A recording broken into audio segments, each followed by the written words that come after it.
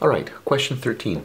An isosceles triangle has a base of 20 centimeters and an altitude of 40. Okay, the easiest thing to do here is to is to sketch this thing out here. So this has got 20 and that's 40 here. Find the dimensions of the largest rectangle that can be inscribed in the triangle um, with the uh, recanting sitting on the base of the triangle. That should be a rectangle. Okay, that's that's got to be fixed there. Anyway, so we're going to put the rectangle in here. A question like this is actually a similar triangle problem. Notice that the largest triangle here is similar to the, the triangle up the top here.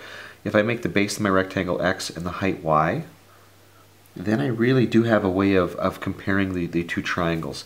I know that the height of the overall triangle over the base will be equal to the height of this little triangle here, which will be 40 minus y, based on how I've drawn that. So the whole length minus the, the height of the rectangle over the base of the rectangle, x. If I do a little bit of cross multiplication there, I'm going to get 40x is equal to 800 minus 20y.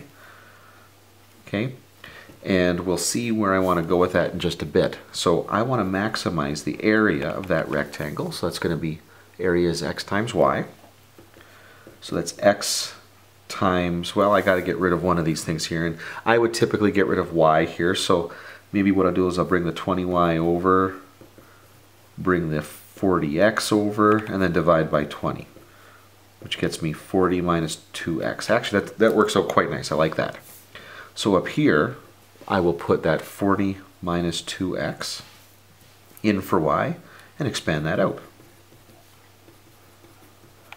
Now you might recognize this sort of question from, from Math 20. You would have done stuff like this where you completed the square on this, but taking the derivative is, is a whole lot easier. Set the derivative equal to zero, and then we just got to solve for the variable x. Okay, and the question here is asking for the dimension, so right away we know that the, the base of the triangle is going to be 10.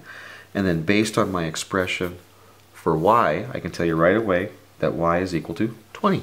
And those are the dimensions of the rectangle.